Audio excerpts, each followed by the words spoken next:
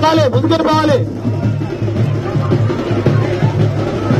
నారా రోహిత్ గారు అలాగే చుమ్మి గారు అబ్బాయి కేసినేని వెంకట గారు మన సంగీతాల సౌమ్య గారు ఎన్నికల ప్రచారాలు మన గ్రామంలో తిరుగుతున్నారు కావున అది వంద శాతం. ప్రతి సర్వే కూడా చెప్తుంది.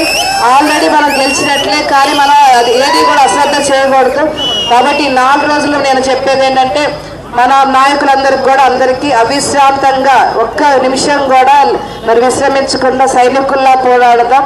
తప్పకుండా మన లక్ష్యాలు నెరవేర్చాలంటే మే పదమూడవ తారీఖున ప్రతి ఒక్కరు కూడా మీ అమూల్యమైన ఓటు సైకిల్ గుర్తుకే ఓటు వేసి గెలిపించాల్సిందిగా.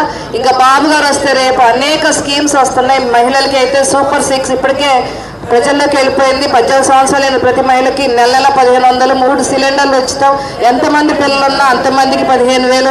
అదేవిధంగా బస్సు ప్రయాణం ఉచితం. పెన్షన్ నాలుగు వేలు. వికలాంగుల పెన్షన్ ఆరు వేలు.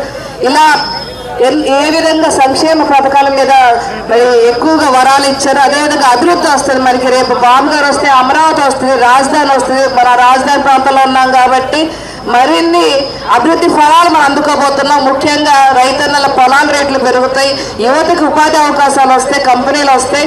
ముఖ్యంగా చంద్రపాడు మండలంలో సమస్య త్రాగునీరు ఎక్కువగా ఉంది. తప్పకుండా బాబు గారు వచ్చాక ప్రతి ఇంటికి త్రాగునీరు అని ఎజెండాలో కూడా చెప్పారు. ఒక ఐదే రోజులు ఉన్నాయి ఎలక్షన్ మీరు ఈ ఐదు రోజులు కష్టపడాలి. కార్యకర్తలు పక్కన వాళ్ళకి చెప్పాలి. ఒక ఓటు విలువ ఎంతో. ఈ మీ భవిష్యత్తు మీ చేతిలో ఉంది. మీరు ఓటేయడం వల్లే మీ భవిష్యత్తు మీ చేతిలో ఉంది. మీరు ఒక సరైన నాయకుడిని ఎన్నుకోవాలి. మీరు ఆ నాయకుడిని ఎన్నుకుంటేనే మీ భవిష్యత్తు బాగుంటుంది. మీరు అలాంటి నాయకుడు ఎవరంటే నా దృష్టిలో చంద్రబాబు నాయుడు గారు.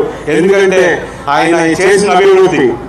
ఒక రాజధాని కట్టాలన్నా మీరు హైదరాబాద్లో చూసారు ఒక సైబరాబాద్ అనే నగరాన్ని ఎంత బాగా ఎంత బాగా తీర్చిదిద్దారు.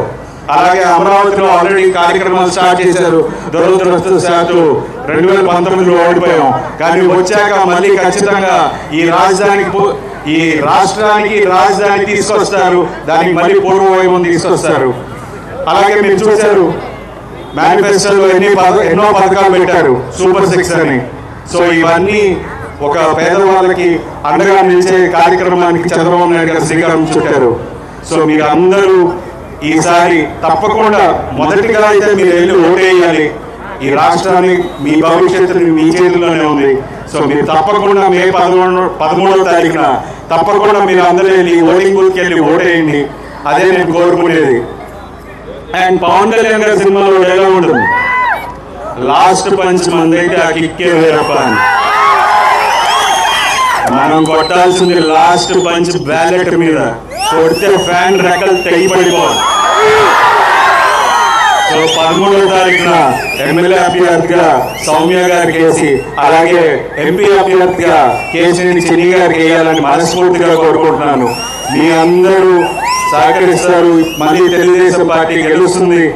గెలిచిన తర్వాత మళ్ళీ విజయోత్సవ సభలో కలుగుతాం జై తెలుగుదేశం. జై జనసేన.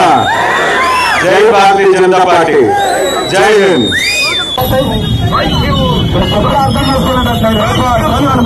సైకిల్ గుర్తుకే సైకిల్ గుర్తుకే